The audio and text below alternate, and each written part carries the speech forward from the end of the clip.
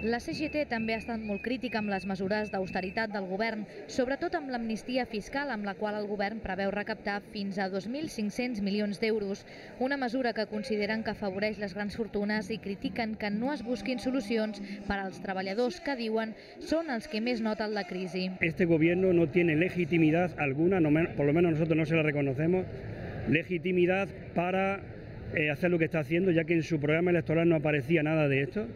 En conseqüència, el que sí tiene el pueblo es legitimitat para salir a la calle y protestar. La manifestació, però, ha tingut un nom propi i és el de Laura Gómez, la secretària d'organització de la CGT, que hi és a la presó des del 25 d'abril. Se l'acusa d'haver participat en la crema de papers davant l'edifici de la Borsa durant la vaga general del 29 de març. Per això avui la pancarta que encapçalava la marxa la duien familiars de la detinguda. Ella está fuerte porque es fuerte, pero no sé cuánto tiempo podrá estarlo. y además está fuerte gracias a sus compañeros que no la abandonan ni un solo momento. Avui és el primer dia en què l'Ajuntament ha retirat alguns dels contenidors d'escombraries durant el recorregut de les manifestacions per evitar aldarulls com els de la vaga general.